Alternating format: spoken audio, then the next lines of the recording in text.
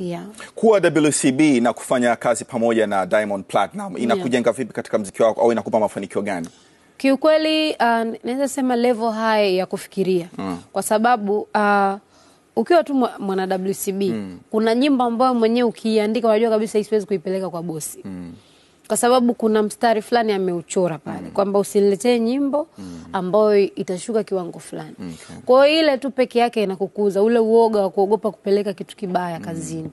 Kwa hiyo ile peke yake na yenyewe ni experience nzuri mm. sana kwa msanii. mm. yani mimi nilimwambiaga rafiki yangu mm. kitu kimoja, nikamwambia mimi mm. hata nisingetolewa na WCB, mm. lakini kwa miaka minne hii niliyokaa hapa mm. yani nimevuna vingi kama vile nimekuja chuo cha mziki mm. Mm. Uh, kuna rumors fulani ambazo pia zinaendelea katika mitandaoni kwamba yani bila WCB, uh, uh, usingekuwepo hapo au bila Diamond Platinum. mm. labda wewe mwenyewe pia unaweza ukaweka ni ukweli gani ambavyo wewe kama vile una passion ya mziki na ulikuwa unataka kutoka, mm. labda unahisi isingekuwepo WCB au usingekutanishwa na Diamond Platinum, leo ungekuwa wapi?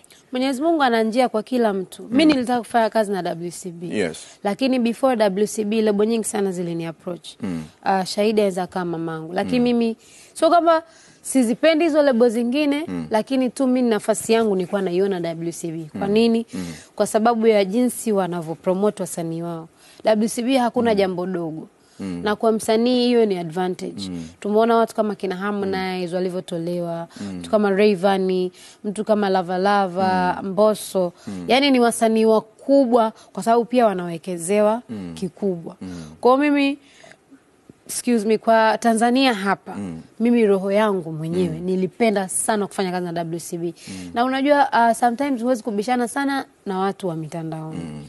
Unajua kila mtu anavyotoka anakuwa na changamoto yake kwenye upande wa maneno. Kila msanii nadhani amesikia hilo mm. neno, usingekuwa WCB usingekuwa hapo. Ni kweli, Mm. lakini kwa sababu Mwenyezi Mungu pia ameniandikia nitokee WCB, Ndio, ndio. kwa hiyo siwezi kukasirika, Mm. siwezi kukasirika kabisa. Ndio, ndio.